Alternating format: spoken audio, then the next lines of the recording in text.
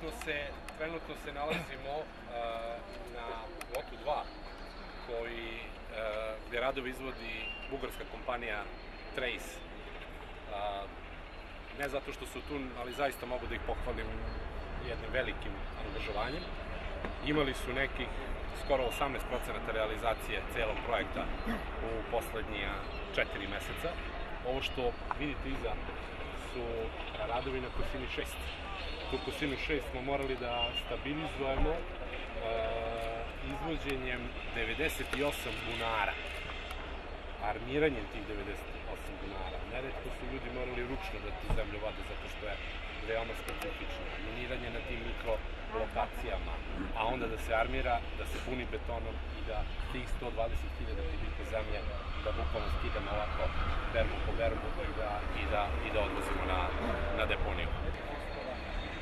Inače, ovde smo na Trejsovoj deonici e, e, su morali da e, ošaluju, armiraju, e, izbetoniraju 332 nosača, zatim da ih pred napregnu na zemlji, da ih podignu i ugrade na sve mostove koje su morali da, da naprave.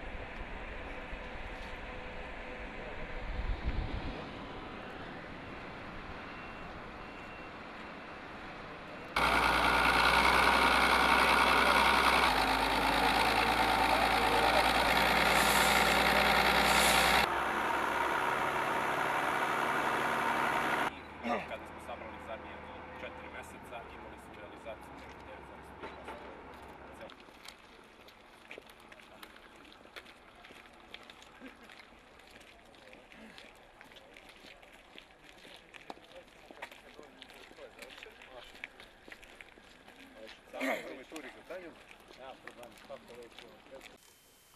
Poštovani, na- poštovani narodni poslanici, poštovani domaćini, e, otvaram 21. sednicu Odbora za prostorno planiranje, saobraćaj, infrastrukturu i telekomunikacije. Konstatujem da imamo kvorum za rad i odlučivanje, jer sednici prisustuje 11 č- članova odbora narodnih poslanika. Današnje sednici prisustvuju iz Ministarstva građevinarstva, saobraćaja i infrastrukture Saša Stojanović, pomoćnik ministra, Đorđe Milić, pomoćnik ministra i e, Stevan Veljović, Mileta Mirčatić i Nikola Mladenović, predstavnici pres službe ministarstva. Pozdravljam sve prisutne i koristim ovu priliku da je u svoje, a i u vaše ime zahvalim menadžmentu Koridora Srbije i gospodinu Zoranu Babiću na pozivu i celoj ekipi koja nam je omogućila da obiđemo koridor i dobijemo sve potrebne informacije, kako se kaže, iz prve ruke. Zatim bih vas podsjetila da je ova sednica sazvana van sedišta, a podržana projektom jačanja nadzorne uloge u javnosti u radu Narodne skupštine, druga faza, koju sprovode program Ujedinjenih nacija za razvoj UNDP i Narodna skupština Republike Srbije, a finansira Švajcarska agencija za razvoj i saradnju i koristim priliku da se i njima zahvalim na podršci. Sada prelazimo na utvrđivanje dnevnog reda. Za ovu sednicu predložila sam sledeći dnevni red. Razmatranje informacije o radu Ministarstva građevinarstva, saobraćaja i infrastrukture za period april-jun 2017. godine. Da li se slažete sa predloženim dnevnim redom? Molim da se izjasnite.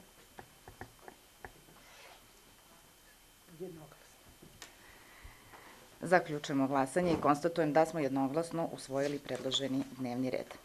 Pre prelaska na rad po utvrđenom dnevnom redu potrebno je da usvojimo zapisnike sa 18. 19. i 20. sednice odbora. Da li ima primetbi na predložene tekstove zapisnika? Ukoliko nema, stavljam prvo na glasanje tekst zapisnika sa 18. sednice odbora na usvajanje. Ko je za? Konstatujem da smo jednoglasno usvojili zapisnik sa 18. sednice odbora. Stavljam na glasanje tekst zapisnika 19. sednice odbora na usvajanje. Molim da se izjasnimo. Ko je za? Konstatujem da smo jednoglasno usvojili zapisnik sa 19. sednice odbora. Stavljam na glasanje tekst zapisnika 20. sednice odbora na usvajanje. Ko je za? Konstatujem da smo usvojili zapisnik sa 20. sednice odbora jednoglasno. Prelazimo na rad po utvrđenom dnevnom redu. Prva tačka dnevnog reda, razmatranje informacije o radu Ministarstva, građevinarstva, saobraćaja i infrastrukture za period april-jun 2017. godine. Molim predstavnika Ministarstva da uzme reč, gospodine Đorđe Miliću, izvolite. Hvala najlepše, dobar dan još jednom. Izuzetno zadovoljstvo je danas biti na sednici, 21. sednici nadležnog odbora, odbora za prostorno planiranje, saobraćaj, infrastrukturu i telekomunikacije Narodne skupštine Republike Srbije i ovo je već, ajde da kažem, i uobičajena aktivnost da mi ispred ministarstva podnosimo redovne izvešte, ovaj kvartalni izvešte, izvešte za drugi kvartal 2017. godine o radu ministarstva našem najvišem zakonodavnom telu. Vi ste videli, struktura izveštaja već u prethodnom periodu na neki način utvrđena i utvrdili smo metodologiju kako izveštavamo nadležni odbor i imali ste prilike da vidite da je on u stvari prilagođen funkcionalnoj organizaciji ministarstva prema pravilniku unutrašnje organizacije i radnih mesta. Tako da je izveštaj je sveobuhvatan, dat je u, ajde da kažemo, nekih 15 poglavlja, a specifičan je zato što su u okviru našeg ministarstva i u okviru kabineta potpredsednice vlade odvijaju i druge aktivnosti vlade Republike Srbije u okviru odgovarajućih koordinacijnih tela, ali to ćemo proći jedno po jedno, pa ćete ovo imati prilike da, da vidite. Prema tome, imamo izvešte sektora za vodni saobraćaj, bezbednosti plovidbe, imamo izvešte sektora za železnici intermodernoj transport, zatim tu je izvešte sektora za vazdušni saobraćaj i transport opasne robe, Zatim imamo izveštaj sektora za drumski transport, puteve i bezbednosti saobraćaja. Naravno, s obzirom da je Ministarstvo građevinarstva, onda dolazimo na sektor za građevinske poslove s provođenjem objenjene procedure zakonjenje.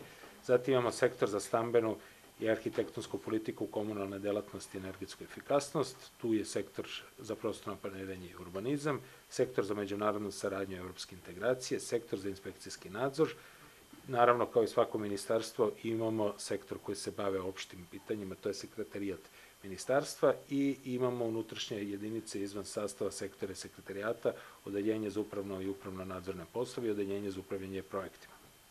To je odeljenje koje je specifično baš iz razloga danas smo imali prilike da vidimo koliko su složeni projekti koje koordiniše naše ministarstvo i koliko je tu potrebno da imamo međusobnu komunikaciju i sinhronizaciju kao nas, organa državne uprave i, i naravno drugih javnih preduzeća, društva sa ograničenom odgovornošću i drugih aktera koji učestvuju u procesu planiranja i izgradnje. Zatim imamo izvešte oko interne revizije i posebno ove aktivnosti podpredsednice vlade u okviru koordinacijonog tela za praćenje za podršku praćenja realizacija projekata, ulaganju rekonstrukcije i izgradnju kliničkih i zdravstvenih centara. To je novo koordinacijono telo koje se sada ovih dana proširilo. Sedam kliničkih centara u, u Republici Srbije započela e, rekonstrukciju. Pro, proširuje se na još četiri klinička centra i tu su vrlo intenzivne aktivnosti gde se, gde se ovaj, intenzivno radi ovih dana. Zatim imamo takođe jednu vrlo važnu temu, a to je e, tema unapređenja položaja Roma i Romkinja u Republici Srbije koje se odvija u okviru kabineta podpredsednice vlade, zatim koordinacijono telo za rodnu ravnopravnost i imamo izvešte zajedničke grupe za definisanje konkretnih mera za unapređenje pozicije Republike Srbije na rang listi Svetske banke u svojima poslovanja. To ovako kad, kad se kaže skraćenica je doing business, svi znamo, svi znamo ovaj, koliko je tu napravljeno ovaj pomaka. Imamo isto izvešte tela za koordinaciju bezbednosti saobraćaja na, puteva, na, na putevima i imamo u okviru sastava ministarstva dva organa koja funkcionišu, to je Uprava za utvrđivanje sposobnosti brodova za plovidbu i Direkcija za vodne, a, za vodne puteve, nekadašnje javno preduzeće Plovput. Vi ste imali prilike kao i uvek da pogledate izvešte, izvešte je sveobuhvatan, preko 100 strana, ima tabelarne prikaze, ima i grafičke prikaze. E, danas nam je tema na samom terenu bila dinamika odvijenja radova na južnom delu koridora 10, naročito specifična, naročito specifična deonica kroz Grdeličku klisuru koja nosi svoje ograničenje i svoje izazove. I evo imali ste prilike da vidite, ja sam i u izjavi za medije rekao našu narodnu poslovicu, možda slika govori više od reči, ovako kad se čita izveštaj, možda to izgleda i suvoparno, možda ima i previše nekih podataka, ali ipak kad se vidi koji su ovde uslovi za, za izgradnju i kako teku radovi, nekako i taj lični utisak je možda snažniji u odnosu na sve ove zvanične dokumente i na sve ove, da kažem, izveštaje oko ostvarivanja ugovornih obaveza. Važna poruka sa današnje sednice odbora da ministarstvo naravno radi u skladu sa zakonom o ministarstvima i pokriva vrlo složene aktivnosti i, i poslove državne uprave. E, koliko je to sve složeno, pa možemo svi da zamislimo od početne ideje i izrade nekog planskog dokumenta, svih tih stručnih javnih rasprava u planskim dokumentima, stupanja plana na pravnu snagu, pa onda izrade tehničke dokumentacije, pribavljanja odgovarajućih dozvola, pa sve do upotrebne dozvole koliko je taj u stvari put složen i nekako koliko zahteva jedna, jednu promenu koncepta i ja mislim da smo mi to i najbolje pokazali kad pogledate izveštaja, imali ste u prethodnom periodu da vidite izveštaje oko napretka Srbije na Doing Business listi, u stvari koliko je u delu e, promene zakonskog okvira i sprovođenja zakona učinjen napredak da praktično Srbija preskoči e, jako veliki broj mesta od nekog 186. a sad smo među prvih 40 zemalja i mi evo i u javnosti i, i na stručnim telima kažemo da to nije dovoljno, da ne možemo se zadovoljimo, nego jednostavno moramo da svi zajednički radimo da budemo među prvih 20, a što da ne i među prvih 10 ovaj, zemalja. Tako da imate prilike i, i videli ste da je svaki sektorski izveštaj kreće od zakonske aktivnosti, odnosno šta je urađeno po pitanju, po pitanju tog normativnog dela. Naravno, kao svaki organ državne uprave, ona tri izvorna posla državna uprava obavljamo normativno pravno, upravno pravno i poslove nadzora. Što se tiče ovog upravno pravnog, možda je to i najveći specifikum u delu izdavanja dozvola, elektronska dozvola, imate ovaj, tačno izveštaj koliki je tu e, napredak ostvaren, možda neka cifra koja je ovih dana, ali koja nije ovde u ovom izveštaju, da je trenutno aktivno preko 13.000 gradilišta u Republici Srbiji, što praktično sa u, poređenjem podatka e, sa početka godine, to je praktično dupliran broj, broj gradilišta i to samo ukazuje da e, sve bolje i bolje se radi u, u sektoru građevine. Što se tiče strukture zaposlenih, imate prilike da vidite da ministarstvo, naravno kao i sva druga ministarstva, radi u ovaj, okruženju gde je potrebno voditi računa oko broja zaposlenih, tako da trenutno imamo 288 lica koje su zaposlena na određeno i određeno vreme, uključujući postavljena lica. I što se tiče stručne spreme, e, praktično naj, najveći broj tih lica je oko 250 su lica sa visokom stručnom spremom, odnosno kako se to već sada boduje, pošto, znate, ono, imali smo diplomske studije, master studije i tako dalje, sada to bodujemo kroz 240 ESPB bodova, a imamo uh, e, 13 lica sa, sa, sa visokom stručnom spremom koji imaju 180 bodova, dok je oko 30 lica sa srednjom stručnom spremom. Tako da u ministarstvu vodimo računa da kadrovska struktura ministarstva bude prilagođena, da imamo lica koja imaju ovaj, visoku stručnu spremu. Da vas sad ne zamaram time, imamo i a, lica sa, sa 8 kroz 1, doktore nauka, imamo magistre i tako dalje. Tako da radimo na tome da potpuno promenimo pristup u, u radu u radu ministarstva, da u ministarstvu rade e, stručnjaci koji e, će biti suočeni svakodnevnim rešavanjem problema, a ne ono kao što je bila do sada praksa da se stalno otvaraju neki problemi i da se, da se ne znam, pronalazi način i ograničenja da nešto ne može, nego sada menjamo praksu da vidimo kako, kako mogu ovi problemi da se, da se uradi. E, znate organizacijonu šemu ministarstva, u principu ona je zadržana kao što je bilo u nekom pre, prethodnom periodu, tako da ja predlažem da vas ja ne bih sada zamarao ovaj, nekom, nekom pričom ili da ne bih sada citirao i čitao delove izveštaja, da vi slobodno pitate, tu je kolega Saša Stojanović koji je inače i mentor za ove projekte izgradnje koridora 10 i koji u principu ima određene podatke. Ja sam od, jedan od komentora što se tiče ove izgradnje, e, odnosno rekonstrukcije, adaptacije i sanacije kliničkih centara, pa tu mogu da vam isto dam neke podatke iz prve ruke. Naravno, kao odgovorno lice ko vodi sektor za prostorno planiranje urbanizam, tu mi je, ajde da kažem, bliži, bliže poznate svi ovi podaci. Eventualno, kao i uvek, kad sam bio u prilici da branim pred ovim uvaženim odborom izvešte o radu ministarstva, koliko ne budemo ovaj, znali odgovor na neko od ovih pitanja, opet nije sada neki eufemizam i izgovor, ali naš narod kaže nije sramota ne znati, sramota je ne učiti, pripremit ćemo odgovor u pisanom obliku, pa ćemo vam dati, dati jer ipak vrlo je, vrlo je složen delokrug rada ministarstva, a intencija je da vam damo potpuno precizne informacije na svako vaše pitanje. Eto, hvala vam na opet privilegije i čast i odgovornost da ovaj, branimo izvešte pred ovakvom uvaženom telu i tu smo na raspolaganju za sva vaša pitanja. Hvala vam gospodine Miliću, svakako na izvorenom vremenu i bilo je zadovoljstvo danas provesti, provesti dan ovde e, na jugu Srbije. Kolega Saša, da li ste vi raspoloženi da nam date neke informacije o koridorima? Pa, pozdravljam sve članove odbora prisutne ovde. A, uz žaljenje što sam rekao i danas više puta što nisu prisutni svi članovi odbora, smatram da pogotovo ovaj odbor ima posebnu odgovornost e, i značaj jer treba da ispred Skupštine prati realizaciju ovako bitnih infrastrukturnih projekata. Ja imam ovde kod sebe izveštaj, deo nevezan za ovo izveštaj koje je ministarstvo priložilo, on je malo detaljniji, ali se slažem sa Đorđem, pošto smo obišli danas i imali ste prilike da vidite neposredno u kojoj fazi se nalaze radovi. A, ono što svakoga interesuje to je kada će biti završetak koridora 10, južnog ili istočnog kraka.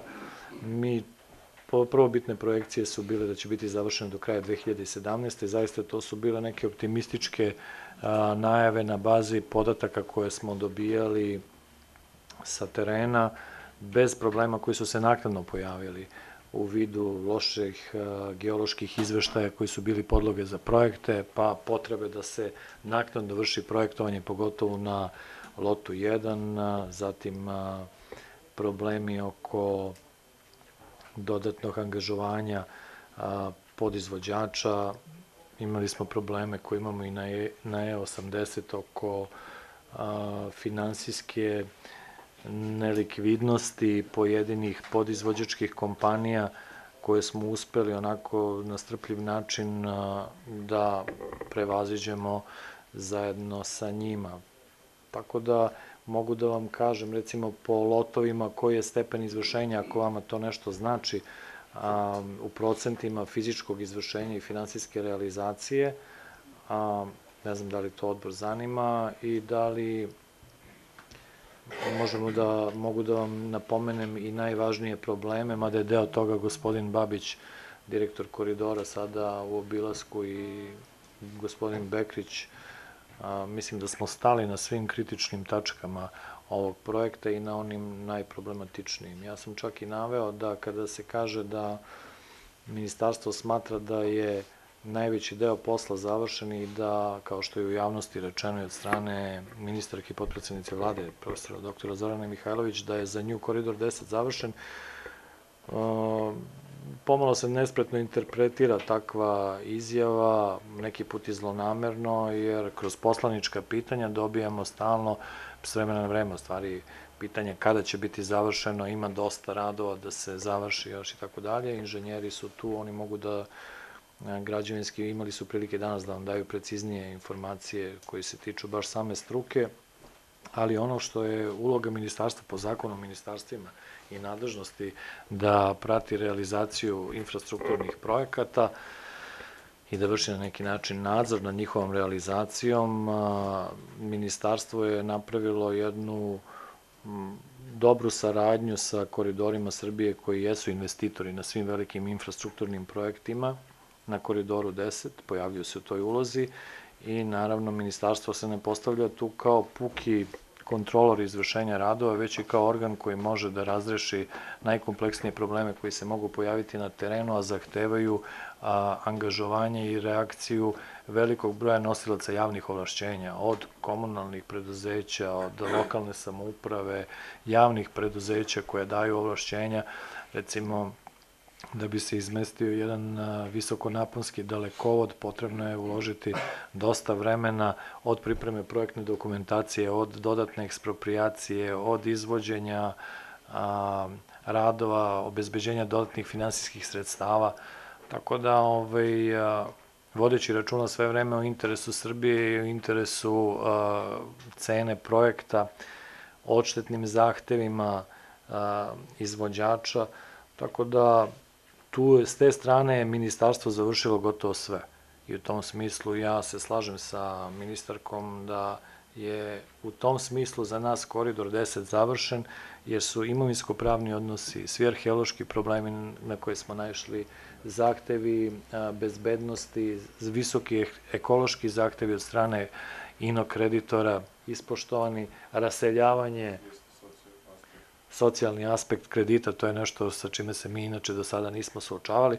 To su sve dakle komponente koje smo zajedno sa koridorima na njihov signal mi dodatno dodatnim angažovanjem pokušavali da rešavamo, čak i u situacijama kada to i možda nije bila naša obaveza, jednostavno bi bilo neodgovorno da ne iskoristimo autoritet ministarstva i da se strogo formalno držimo onoga što je naša nadležnost. Znači, u interesu projekta smo sve aktere nebrojeno puta okupljali i rešili imovinsko-pravne, ponavljam, probleme, probleme ekspropriacije, socijalne zaštite, raseljavanja stanovništva i u tom smislu ministarstvo nema više šta da radi osim da očekuje da izvođači i da, da izvođači odrade svoj posao i da damo svoju pomoć u smislu kontrolnog organa prilikom rešavanja odštetnih zahteva izvođača koji nisu mali, jer smo na ovom koridoru prvenstveno, i to smo više puta isticali, zatečeni sa neadekvatnom projektnom dokumentacijom koja je u visokoj meri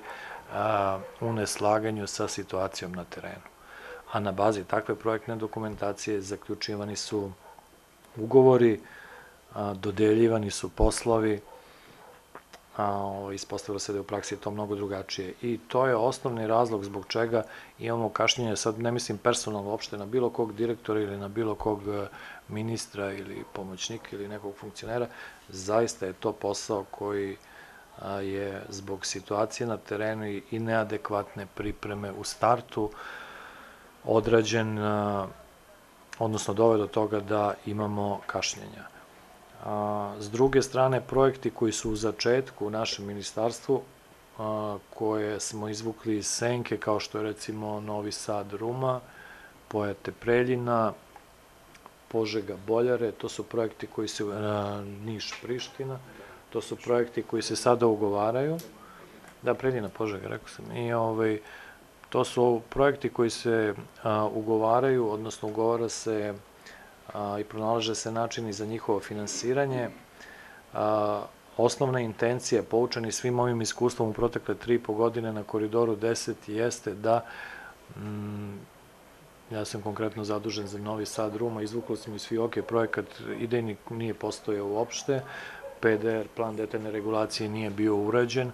Znači, uspeli smo da uradimo idejne projekte za sve tri deonice, ostala je još jedna, raspisan će biti tender, mislim, mislim da je sad u toku već raspisivanje javne nabavke iz izradu idejnog projekta i cilj nam je bio i dogovor na zajedničkoj sednici vlade sa autonomnom pokrenom Vojvodine i sa premijerom Mirovićem da ne uđemo ni u jedan projekat infrastrukturni a, sa nerešenim statusom bilo imovine, ekspropriacije, bilo nedostataka u projektno-tehničkoj dokumentaciji, jer bi to zaista bilo neozbiljno sa naše strane, da to bi bilo jako loše, zato što nas pored e, realizacije i zaključenja, završetka ovog projekta na koridoru 10 očekuje nas mukotrpni pregovori oko odštetnih zahteva da tu zaista zaštitimo interes države koliko je moguće više. To je jedan totalno drugi aspekt koji ostaje onako po strani, podjednako važan kao i završetak putne mreže. Tako da nam je to intencija da projektna dokumentacija, imovinsko-pravni odnosi budu rešeni na najbolji mogući način da bi projekat mogao nesmetano da se realizuje i onda možemo da govorimo o rokovima i možemo da merimo ugovorne obaveze izvođača i da naplaćamo eventualno naknadu štete. Ovako moram da priznam iz onoga gde sam ja barem zadužen za, bio sam za koridor 10, delom sam i sada po funkciji, ali su neki drugi ljudi tu, zaista je nedostatak projektne dokumentacije nešto što je najveći problem, barem to je moj lični utisak. I mislim da smo se da smo raskidali sve ugovore onog momenta kada se kada su se stekli formalno pravni razlozi raskidanje tih ugovora da nikad nismo mogli da rasuđujemo u smislu toga da presečemo jednostavno isključivo zbog toga što smo razmišljali kakve će posledice biti po Srbiju zbog nekvalitetne planske dokumentacije i zbog arbitraže za koju po procenama za pojedine ugovore ne bismo imali ozbiljnu šansu i izvođačima bi to išlo u korist. Još jednu stvar koju želim da napomenem koja je bitna vrlo ovoj aktivnosti ovog ministarstva, barem ovog dela za koji sam ja zadužen, o transportu neću uopšte da pričam, sada to je druga stvar, tu smo doneli tri zakona sa kojima smo se harmonizovali u potpunosti sa evropskim propisima. U toku je izrada zakona o putevima, nacrt, održana je javna rasprava, to je, mislim, 15. septembra u prostoriji Privredne komore Srbije. Pripremili smo jedan dosta onako modern nacrt zakona o putevima, jer smo se potrudili da prvo njima obuhvatimo kompletnu putnu mrežu i sve kategorije puteva, zbog toga nema više naziv zakon o javnim putevima kao ovaj sada važeći, već zakon o putevima.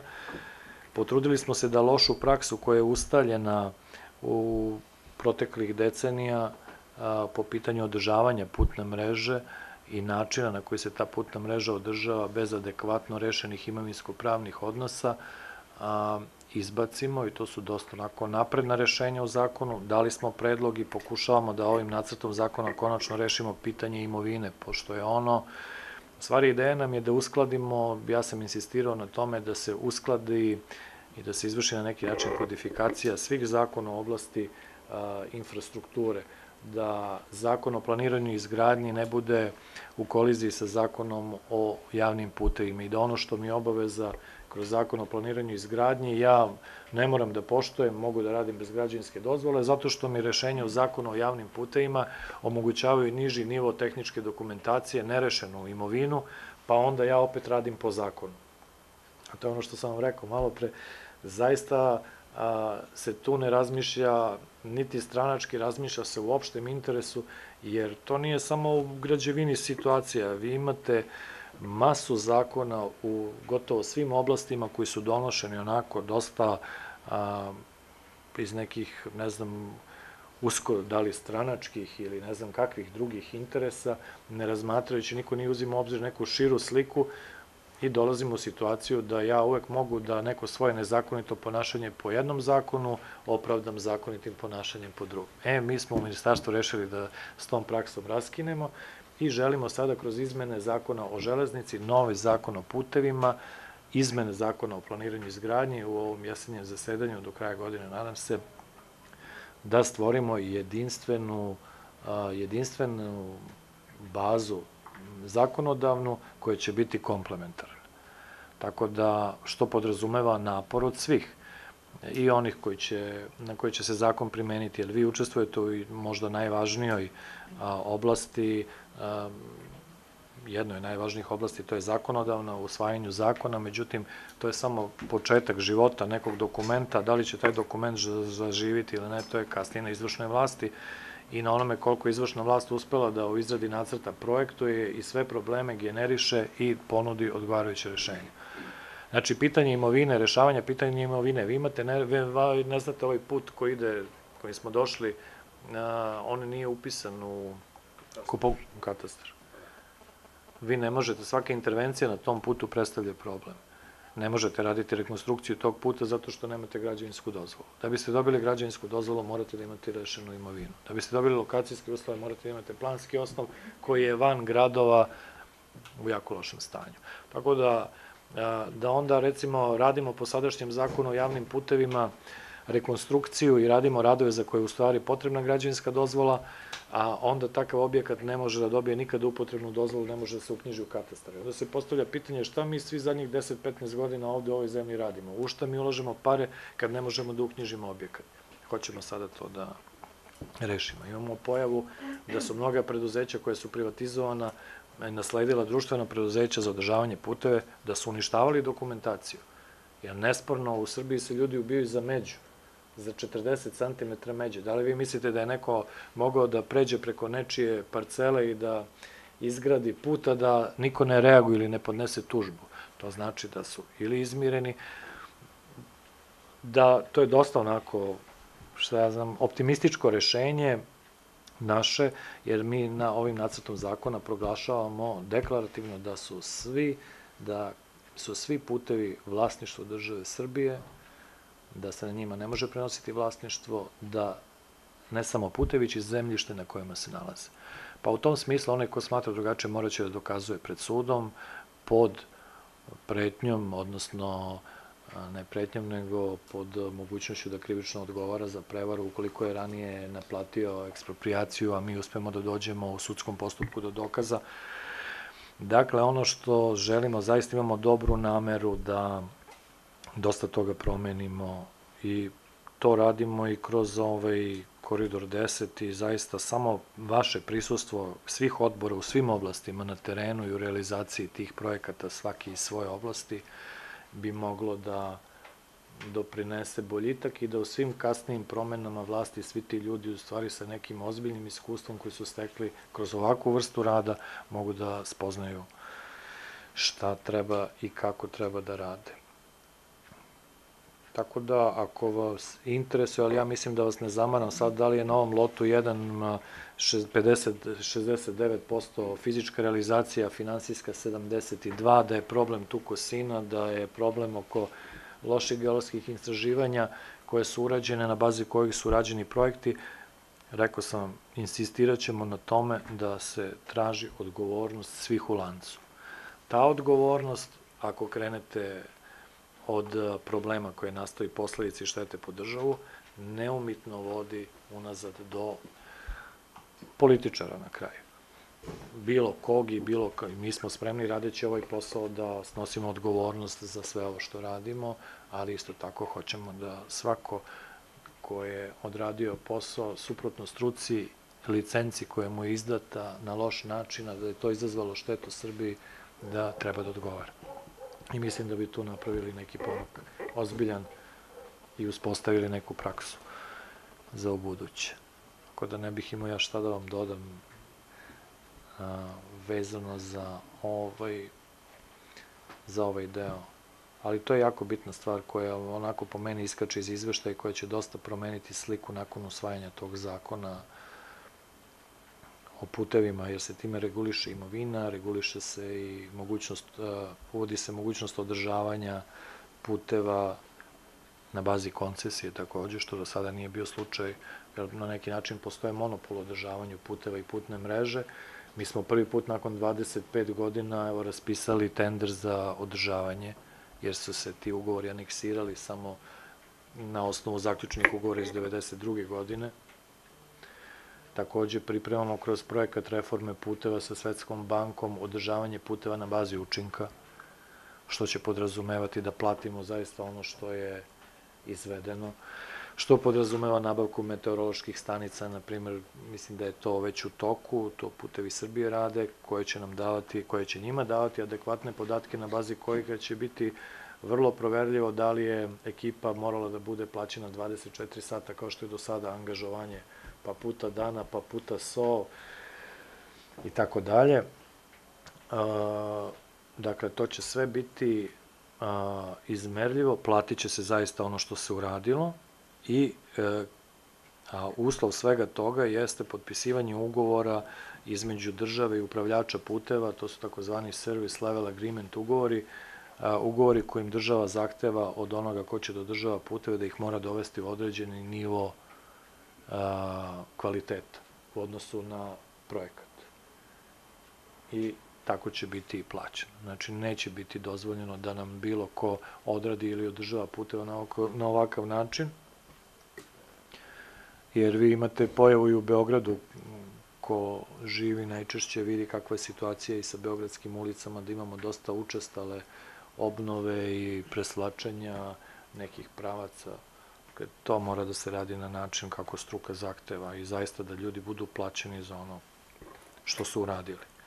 Znači, uz efikasnost, rezanje troškova, i dalje se ne izdvaja, ovim nacrtom zakona nije predviđeno da se izdvaja iz akcize za održavanje puteva. Nisu dovoljna sredstva za održavanje putne mreže, ali mislimo da kroz reformu načina održavanja mogu da se pronađu ove unutrašnje rezerve i da troškovi mogu da se smanje i do 30-40% čak uštede. Za to nam treba podrška i mislim da su i u putevima Srbije svesni da je to neko novo vreme koje dolazi, barem u smislu načina na koji će se putevi održavati. Eto, to je to. Ne bih imao ništa drugo da vam kažem i bio sam i predugačak za moj ukus, ali ministarstvo je zaista veliko i ima ozbiljno, ozbiljnih projekata i mislim da broj ljudi koliko god izgleda na papiru nije dovoljan iz onoga što sam nezvanično rekao malo pre da se na neke konkurse koje javljamo, javlja malo ljudi, imamo problem sa stručnim kadrom u Srbiji, ne samo u građevini i u saobraćaju, nego uopšte u svim oblastima i mlade ljude treba zadržati. Plate nisu adekvatne. Ne možete dobiti stručnjaka sa visokom stručnom spremom i sa znanjem koji će raditi za 40-50 hiljada dinara. Tako da, to su stvari o kojima država mora da vodi računa. To su neke opšte poruke više za političare, to je ono što je realno na terenu i sa čim se mi suočavamo, jer ne možete bez kvalitetnih ljudi realizovati ovakve projekte. A ne kažemo ni da su stranci bolji od naših. Naši ljudi su izgradili dosta a, dobrih i u svetu priznatih objekata. Videli ste i ovde da gradimo objekte od tunela preko mostova kojih se ne bi postideo niko i na ovako zahtevnom terenu gde u razmuku od 100 metara imate i prugu, imate i vodu, imate i međunarodni put i međunarodnu prugu, imate dalekovode, magistralne, tako da je tu stvarno treba sve uklopiti i odraditi. E sad, pitanje projekcije i planiranja trasa, to je posebna priča. Ali trudimo se da zaista izvučemo najbolje i da što pre privedemo u kraju na kraju krajeva, to je naš interes i to, je, to će biti naš rezultat i da taj put može da traje, da nema garanciju dve godine kao mašina za veš, da ima manju garanciju od mašine za veš. Treba da ima garanciju minimum 10 godina na izvedene radove.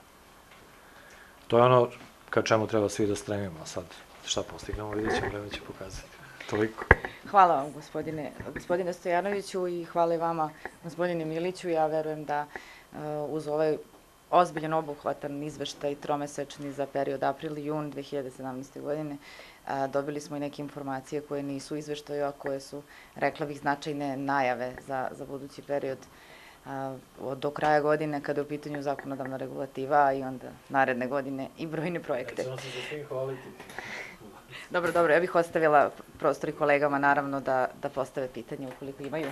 Izvolite. Na terenu.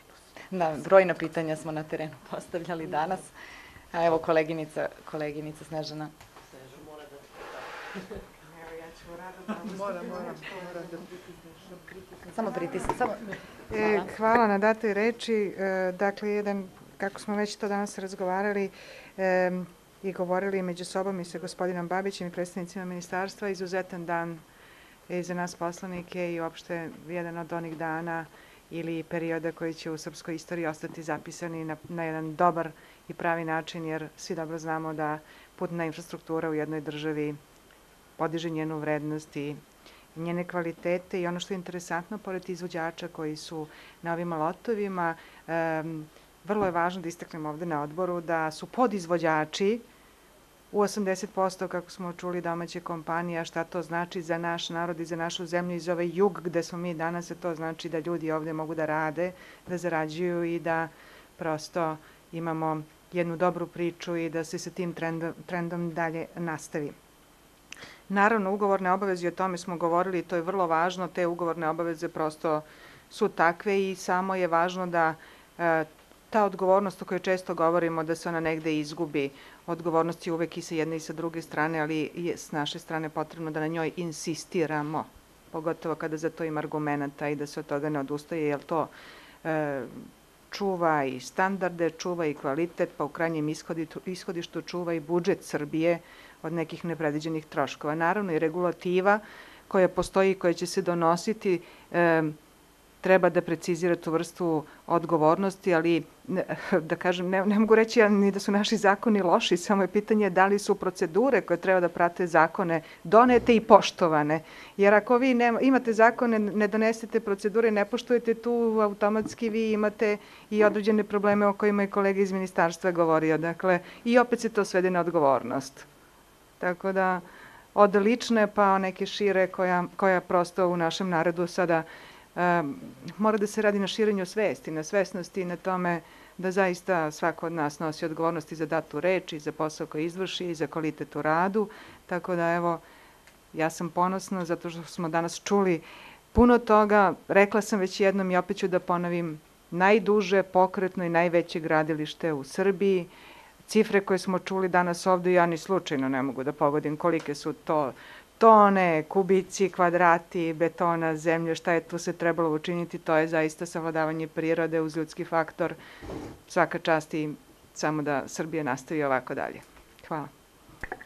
Hvala vama, koleginica Snežana. Koleginica Ivana Nikoli se prijavila. Dobar dan, moje ime je Ivana Nikolić i ja bih izrazila zadovoljstvo eto što sam bila danas deo odbora član koji, eto, drago mi da sam videla sve, svu situaciju na terenu, obzirom da dolazim sa teritorije opštine Ub, da se i kod nas intenzivno radi na izgradnji deonice autoputa Beograd-Južni Jadran, ali svakako kao neko ko prati te radove i daje veliku podršku u lokalnoj samupravi, ovde moram da izrazim veliko zadovoljstvo i stvarno sve hvale jer, jer je neuporedivo ovaj, komplikovanije, da kažem, gradilište i sam teren. E, gospodine Stojanoviću, da vam se zahvalim ako ohrabrili ste me obzirom da ste rekli što ste malo govorili o pripremi zakona o putevima, obzirom da od kako je usvojena uredba o kategorizaciji puteva iz 2015. godine, mi generalno imamo jedan problem, jedna kratka deonica puta tadašnjeg regionalnog, sad je to državni, prosto je ostalo onako nedefinisana i jednostavno zaista mi na lokalu imamo problem i oko prava i oko obaveza na, na, na, toj deonici. Jeste da je 500 metara, ali za ne daj Bože može da bude jako komplikovano. Pa me samo zanima uh, da li mi možete nešto možda malo konkretnije reći kako će to biti, ko je prvi akter, ko će biti uh, u u tom procesu ko bi trebalo da preuzme um, odgovornost da eto da se to uvede u neke tokove koji bi trebalo da budu ohrabrujući za sve nas.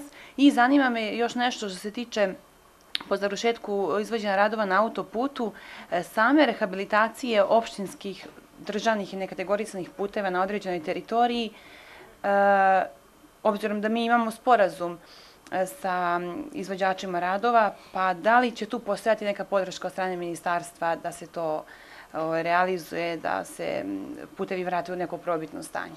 Hvala. Samo se prijavite. Po, što se tiče a, ovih zakonskih rešenja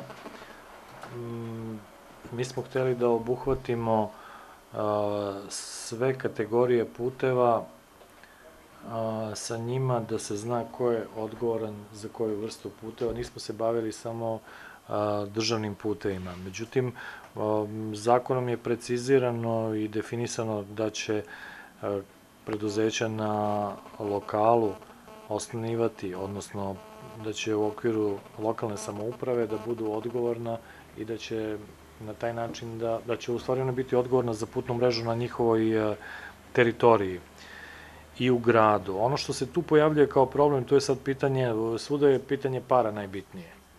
Jer, recimo, mi smo, put, preduzeće Putevi Srbije su kao upravljač putne mreže, državnih puteva, često na udaru i ja ne znam koliko imam zahteva kroz mailove sa slikama da se pomogne recimo ljudima u nekoj ulici u Nišu, evo prekriče sam gledao neku sliku da ne poverujete da takva ulica postoji u Nišu.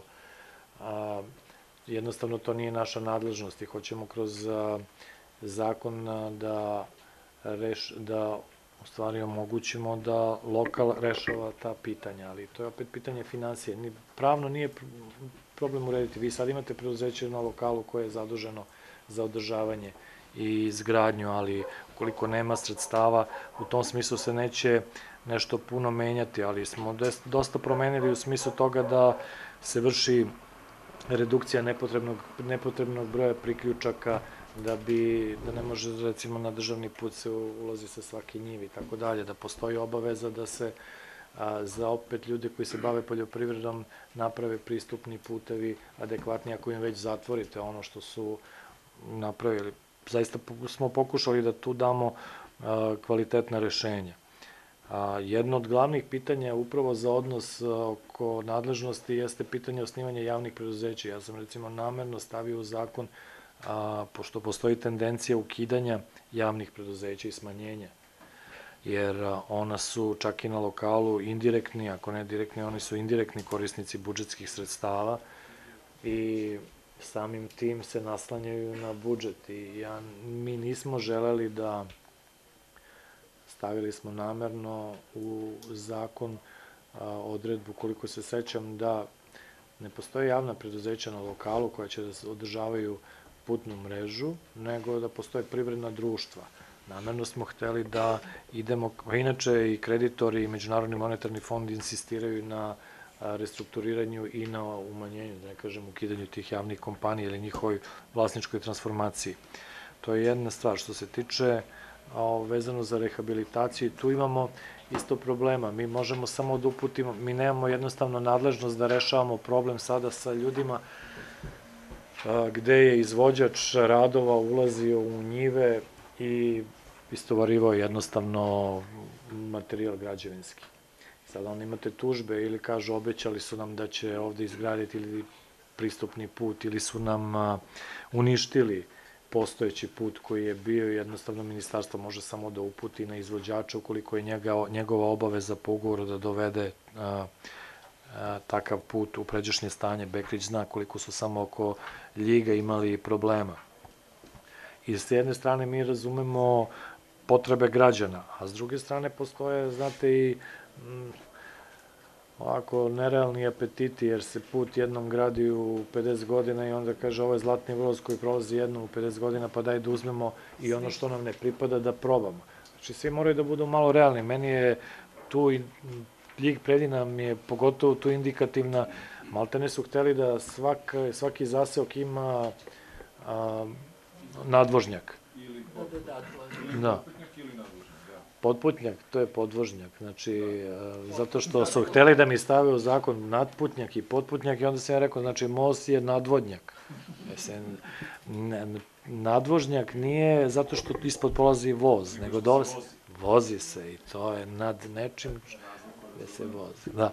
Tako da, mislim, potputnjak i nadputnjak, ja kažem, daj bre, ljudi, neću ostavljam to u definiciji, da ste normalni, bre. Tako da, a, sudska a, naknade štete, izvođač je u obavezi prema ugovoru da ima svoje obaveze po pitanju tih pristupnih puteva, po pitanju lokala, A, ukoliko smatraju da su im prava oštećena, naknada štete, ne možemo mi tu ništa kao ministarstvo više od toga da radimo. I efikasno pravosuđe, pre svega. Hvala vam, gospodine Stojanoviću. Sledeći se prijavio kolega Dragan Vesović. Izvolite. Hvala predsjedavajuća. Uvažena gospodo iz ministarstva, ja kao jedini predstavnik opozicije u parlamentu Narodne republike Srbije imam i obavezu i mogu da kažem sreću da mogu da sada malo progovorim s vama. Prvo, neke stvari bi apsolutno pohvalio. Pohvalio bi to što je rok ovog izveštaja najmanji rok od svih rokova koje sam ja vidio u dva skupštinska odbora kojima sam član. Dakle, vi dajete, rok, dajete izveštaj o dru, radu u drugom kvartalu, tek se završio treći i mislim da je to nešto što je izuzetno dobro i što treba da bude praksa. Nažalost, negde smo bili svedoci da izveštaji dođu i godinu dana posle. To opet govori o nekom vašem radu, izveštaj sam naravno pročito i ovaj, bez obzira, a još sam srećni onim što sam video, jer zaista moći ću neke stvari da svedočim. Ja nisam, nisam čovek iz ove struke da, da bi mogao možda toliko kompetentno da pričam, ali opet, ako, ako se čovek nečim zainteresuje pa nešto malo se pripremi, pročita, vidi i onda to na terenu sebi potvrdim, mislim da može da neku vest koja, koja je dobra vest na način na koji on bude smatrao potrebnim i valjanim proširi. Dakle, srećete se sa naporima, ali i problemima, ali imate jednu veliku sreću. Vaša sreća je što tragovi koje vi pravite ostaju za vama. Dakle, putevi koje ćete napraviti ostaće za vama, ne samo na vašu korist, nego i na opštenarodnu polzu, tako da ćemo ih svi koristiti i to je sreća koja će da nadomesti sve one muke i probleme koje imate. Posebno bi jednu stvar e, istakao i tu se apsolutno slažem sa gospodinom Stojanovićem, s obzirom da sam ja e, pripadnik e, Srpskog pokreta dveri, koja je relativno skoro u politici i zaista nemam nikakvu odgovornost za ono što se nekada dešavalo, ali insistiram da neko ima odgovornost. Svi ti problemi o kojima ste vi pričali tamo neformalno i sada na sastanku s kojima ste se sreli, s projektnom dokumentacijom, sa svima onime što vama danas otežava posao, ne vama, svima nama, da neko je, neko je za to odgovoran. Ja insistiram na onome što ste vi rekli da ćete se truditi da ti ljudi koji su potpisivali takve projekte najmanje ostanu bez onoga što im je licenca. Znate, ja imam neku licencu u mojoj ordinaciji stomatološkoj ja moram da radim, pa ako nešto ne uradim, neću moći da radim. Dakle, na tome treba da vi koji ste vlast ove države insistirate i u tome ćete imati svaki vid podrške onih koji su, kako god ponekad izgledalo, ljuta opozicija. Na tom putu smo zajedno. To je ono čemu svi težimo. I neću da oduzimam vreme, malo pre ste napravili lapsus koji je mene bio ovaj obradao, međutim, gospodin Bekrić vas je ispravio u jednom momentu kada ste pričali o putima koji su u planu, spomenuli ste Pojate Preljina.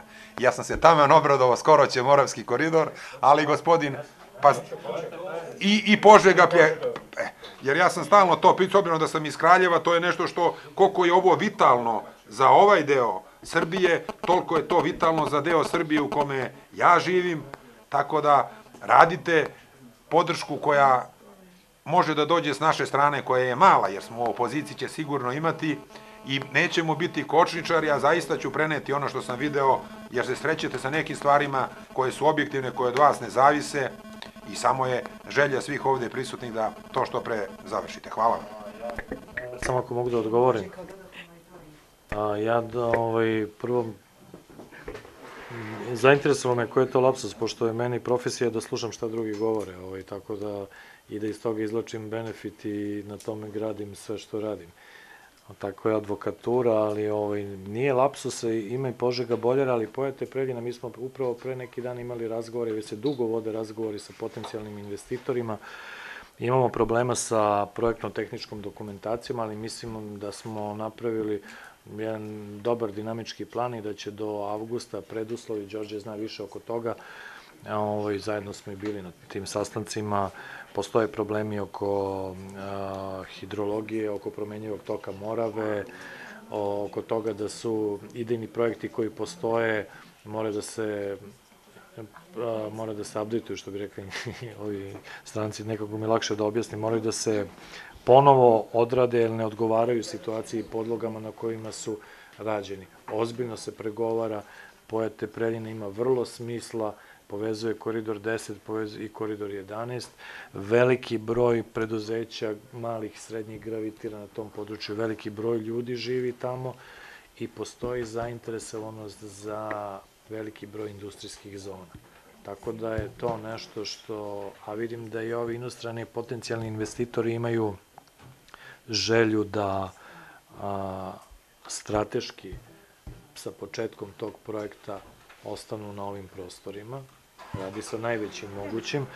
A mi opet vodimo neku zaista onako odgovornu odgovornu tu politiku i u tim pregovorima, jer ne želimo da preuzmemo na sebe nikakvu obavezu koja bi dodatno opterećivala Srbiju, ne želimo da cene projekata budu neadekvatne i želimo da zaista izvođači snesu što više odgovornosti ulaskom u tom u takav projekat. Tako da je ono što mislimo da je to dobro i to će se, to su četiri projekta na kojima će se raditi vrlo intenzivno.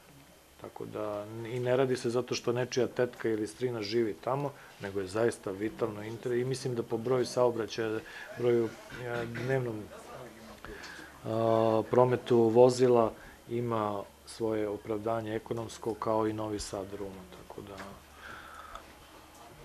nije lapsusa i da je bio, nije nikakav problem. Hvala vam e, na odgovoru, ali pre nego kolegi e, Krstu Janjuševiću dam reč, pošto je moj poslednji prijavljen bar za sada, ja bih ovaj, zarad javnosti, s obzirom da nam se sednica da je sednica otvorena za javnost.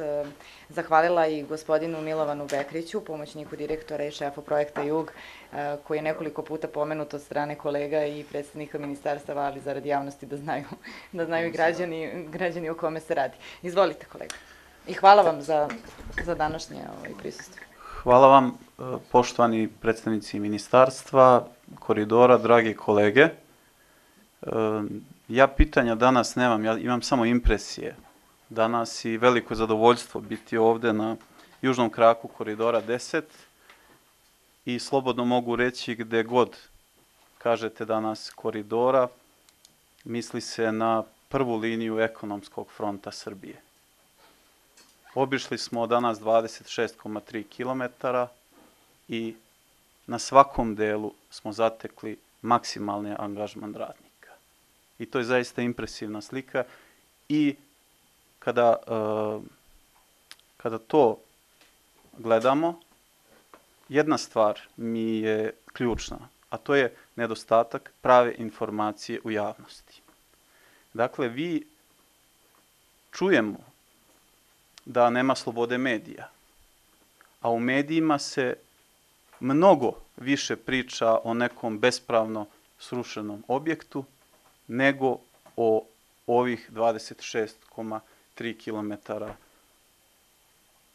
autoputa koji se gradi ovakvom brzinom, sa velikom štednjom, sa velikim poslom koji se uslovno može reći, da je nevidljivi deo posla, a to su rešenja imovinsko-pravnih odnosa, a naravno svim teškoćama sa kojima se susrećemo, da ne govorimo na samoj, na samoj deonici puta. Dakle, ta informacija o naporima koje ovi ljudi imaju i angažmanu od ministarstva, koridora do onog radnika koji je ostao tamo na putu dok mi sedimo ovde.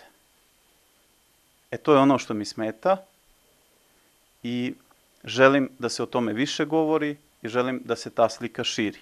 I e, neko je dobro rekao, šteta je što mnogo više ljudi nije ovde danas da vidi, da vidi da kamion može da prođe kroz onaj tunel, a ne da sedi u Beogradu.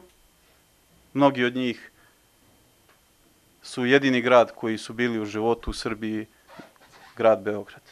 Neka malo izađu, neka, neka dođu ovde, neka se uvere kako to izgleda na terenu, da sa nekim drugačijim poštovanjem posmatramo ljude u građevini od onog dela imovinsko-pravnog do onog radnika koji sprovodi tamo teški fizički posao. Neko će reći opet, da on radi i on prima platu. Nema veze, on prima platu, ali ga treba posmatrati sa mnogo većim poštovanjem. I njega, i ceo sistem koji je to usmerio za dobrobit Srbije, a ne u svoje lične interese kako je bilo mnogo godina ranije. Znate, i vojnik prima platu, ali vojnika posmatramo sa posebnim poštovanjem. I doktor prima platu, ali ga posmatramo s posebnim poštovanjem. E zato želim da svi damo doprinos da tog građevinca ljudi posmatraju sa posebnim poštovanjem, jer ti ljudi to svakako zaslužuju. Još jednom čestitke nadležnom ministarstvu, koridorima i svim ljudima koji su angažovani na ovom poslu. Hvala vam. Hvala vam kolega Janjuševiću i Ivana Stojiljković. Hvala predsedavajuća.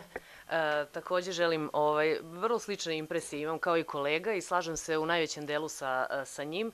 E, većinu e, odgovora smo dobili na pitanja koje smo imali jer danas smo zaista proveli, ako se ne varam, oko 3 sata e, na ovih 26,3 kilometra I ono što je meni zaista fascinantno jeste e, koliko je trebalo učiniti e, tog nevidljivog, navodno, zaista kada se prođe sada e, tom trasom i tekako je vidljivo, ankerisanja potpornih zidova, koliko je trebalo nivelisanja i svega da bi zaista to ličilo na put i sve to napraviti od jednog brda. E, koliko god mi pričali, mislim da nikome nećemo moći to da dočaramo e, ako neko ne dođe i ne vidi. Zato isto sugerišem da svi oni koji se pitaju kada će biti ovo završeno, prvo dođu da vide šta je sve učinjeno i naravno da vide koliko je e, već podmakao taj posao i koliko to zaista već sad liči na autoput, pa se možemo složiti i sa ministarkom i sa ministarstvom da je ovo već posao koji je pri kraju.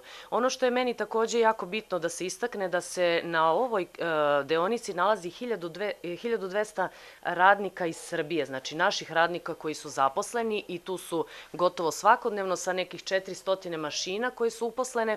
E, ja bih ovaj gospodina, iako nema pravo danas prosto reč, ali eto, čisto da čujemo njegovo mišljenje, gospodina Bekrića, pomoćnika direktora koji je danas zajedno sa nama i sa direktorom Zoranom Babićem bio sve vreme odgovarao nam strpljivo na pitanja.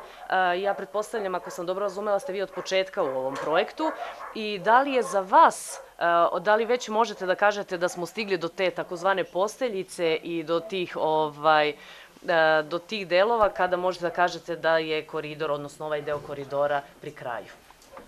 Da, jesam vezano za sve projekte na sektoru Jug. Ja sam od početka tu, od faze tenderisanja, preko potpisivanja ugovora do onoga što ste vi videli danas.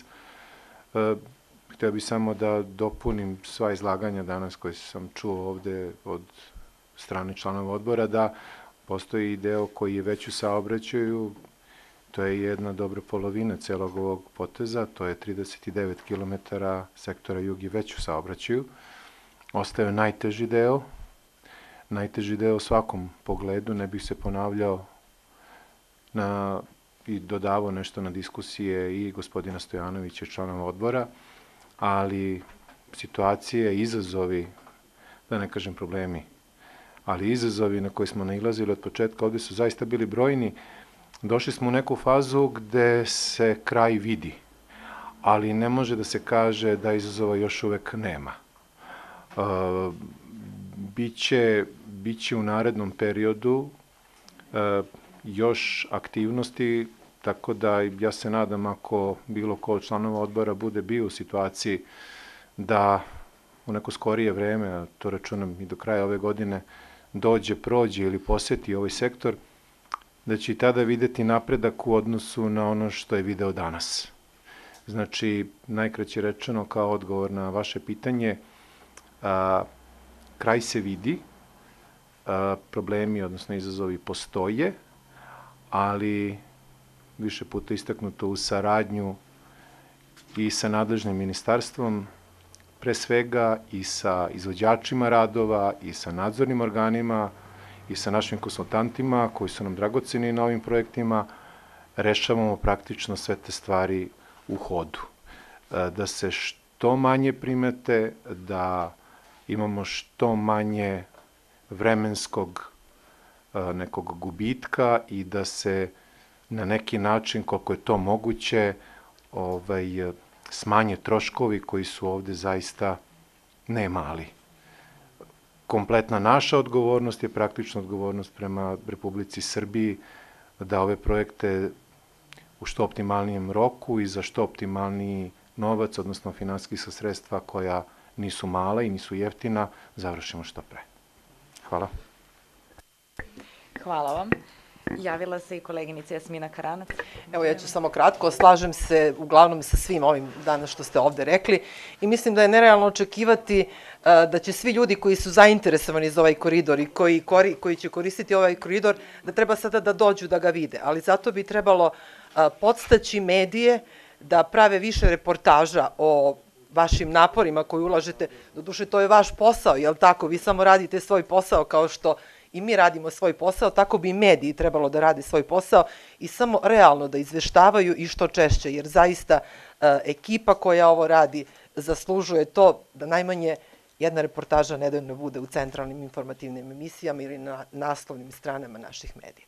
Ja kao neko ko dolazi iz novinarstva potrudit ću se da mojim kolegama sugerišem i prenesem zaista da naprave što više reportaža sa ljudima koji ulažu maksimalne napore i možda nadljudske napore da ovo naprave za dobrobit svih nas. Hvala. Hvala vam koleginice, potpuno se slažem, ja verujem da i današnji dolazak naš ovde i zajednička sednica odbora, odnosno od sedišta, van sedišta Narodne skupštine, sigurno će da doprineti e, nekim reportažama. Evo i na kraju rekla bih Goran Kovačević, kolega izvolite. E, ja vam se zahvalim, da se zahvalim svim našim domaćinima koji su danas bili i da podelim utisak da svi narodni poslanici danas jesu impresionirani onim što su videli. Ali da ih podsjetim da je ovo samo jedno od niza gradilišta autoputeva u Srbiji. I kada donosimo zakone, kada odlučujemo o budžetu, kada usvajamo i prihvatamo neke investicijne aktivnosti sa međunarodnim investicijama, u stvari rezultat našeg dizanja ruku jeste bez obzira da li će mediji da izveštavaju ili neće, autoputevi koji su poslednjih godinu dana u Srbiji napravili po kilometru najveći broj u Evropi i za nas kao narodnih poslanika vlade Republike Srbije, predsjednika država Aleksandra Vučića, odnosno predsjednika vlade u prethodnom mandatu, svakako ostaju autoputevi koji omoguće građanima Srbije da lakše i lagodnije žive. Da ne govorimo o privrednim aktivnostima, industrijskim zonama i svemu onome što nas čini da postanemo bolje mesto za život. I ja bi o jednoj drugoj impresiji. I postavio bi pitanje, naravno. Znači, pre svega vidimo ovde da je ministarstvo počelo da radi koordinaciju tela za podršku praćenja realizacije kliničkih centara. To je jedna od oblasti koje smo 2000 neke godine, 12. 13. 14. bili na toj doing listi prilično nisko kada se govorilo o kvalitetu zdravstvene usluge na nivou Evropske unije, nismo baš najbolje stajali. Nesporno da se to pomera. Nesporno da je rekonstrukcija i izgradnja novih sedam kliničkih centara nešto što pomera granicu svakako, jer ako nemate uslugu koja može da bude pružena u adekvatnim objektima sa adekvatnom opremom, onda i kvalitet zdravstvenog osoblja koji ne je sporan, ne može da dođe do izražaja. Treba pomenuti ovde kliničke centre koji se rade u Nišu, koji se završao, treba da počne klinički centar u Kragujevcu, pa me zanima otprilike kako vama to izgleda, da li je tempo brzine tih investicija značajan, jer sredstva su nesporno odvojena, što pre završimo te projekte i oni počnu da funkcionišu, to će biti svakako jedna od ključnih primarnih uloga, jer zdravstvo takođe značajno pored izgradnje infrastrukturnih objekata. I prosto nesporno je da mi trebamo da vidimo rezultate i našeg rada u Skupštini Srbije, ali svakako danas e, ovo jesu rezultati ljudi koji vode koridore Srbije, gospodine Babića, i možemo da imamo osjećaj neke časti. Što smo mi u Skupštini možda u operativnom smislu manje zaslužni, ali jesmo deo tima koji Srbiju čini drugačijem i oblasti autoputeva i oblasti zdravstvene zaštite. Pa me pre svega zanima kako vam izgleda da li će taj tempo investicija u kliničke centre biti onako kako smo planirali. Izvolite, gospodine Milić. Hvala. Ja ću da probam da odgovorim. Hvala na, na ovom pitanju. Probat ću da odgovorim na pitanje, ova četiri klinička centra koja, čija je rekonstrukcija u toku, to je nezavisno od rada koordinacijonog tela. Kad kažem četiri klinička centra, klinički centar Srbije u Beogradu, zatim u Novom Sadu, Kragujevcu i u Nišu, to su projekte koji su započeti u prethodnom periodu i vrlo se intenzivno radi na tome da se dovrše ovi projekti, a e, koordinacijono telo koje je vlada formirala i na čijem čelu je potpredsednica vlade, gospođa Zorana Mihajlović, e, je uzela u svoj delokrug prvo sedam kliničkih centara, to su kliničko-bolnički centar u Zemunu, zatim Univerzitetska dečja klinika u Tiršavoj, imamo Institut za kardiovaskularne bolesti na Dedinju imamo klinički, kliničko-bolnički centar Dragiša Mišović i sad, ajde, što kaže, još, još ova tri, ako ne mogu promptno da se setim, ali se širi delokrug na, da, Višegradska, ginekološka akušerska klinika u Višegradskoj i u okviru kliničkog centra Srbije neurohiruška klinika. A širi se delokrug rada na bolnicu Sveti Sava u Beogradu, zatim GAK Narodni front, ortopedska klinika Banjica i, i, i, i Institut za onkologiju i radiologiju kliničkog centra Srbije. Tako da biće ovo ukupno 10, odnosno 11 kliničkih centara koji će e, imamo, to mora otvoreno da kažemo sada, određenih organizacijonih poteškoća, kad kažem to i u koordinaciji u ovoj prethodnoj fazi, jer imamo neke, ajde da kažemo u svom govoreći, poteškoće prilikom pribavljanja e, lokacijskih uslova u prvoj fazi, s obzirom da je nadležnost, nadležnost grada Beograda i preuzeli smo sad određene aktivnosti da se te neke stvari nedorečenosti ipak ovaj, reše. E, tako da u principu možemo da kažemo da rekonstrukcija ide u skladu sa dinamikom. E, odgovorni projektant je saobraćeni institut CIP iz e, Beograda. Sada radimo intenzivnu koordinaciju sa Kancelarijom za javno ulaganje, jer čitava ta stvar oko ulaganja u, u adaptaciju i sanaciju klinika ide preko te kancelarije, tako da možemo da kažemo da postoje određeni problemi kojih, koje rešavamo u hodu i da za sada dinamika ide generalno u skladu sa nekim okvirom koje, koje je predviđen koordinacijalnom telu. Takođe, vrlo je važno da ovaj, spomenemo da pored ove rekonstrukcije razmišlja se i, i o izgradnji nove univerzitetsko dečije klinike, kako se to sad popularno zove, Tiršova 2 i uređene su određene aktivnosti na pronalaženju lokacije. Vrlo intenzivno radimo da taj sistem zdravstvene zaštite profunkcioniše efikasnije i bolje u Republici Srbiji i da se, da se tu e, naprave određeni, određeni rezultati. Hvala vam, gospodine Miliću. Kako više nema prijavljenih kolega za reč, zaključujem pretres. Potrebno je da se izjasnimo da li prihvatamo informaciju o radu Ministarstva građevinarstva, saobraćaja i infrastrukture za period april-jun 2017. godine. Molim vas da se izjasnimo.